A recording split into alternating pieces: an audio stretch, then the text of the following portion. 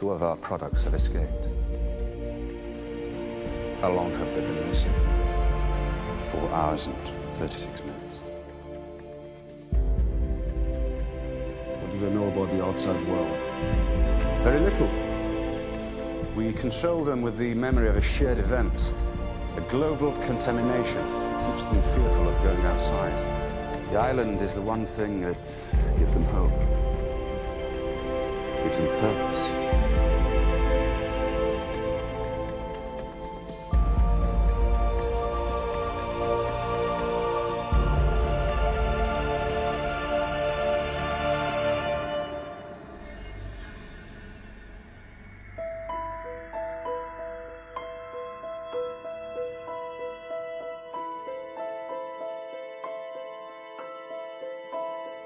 How can you see into my eyes like open doors?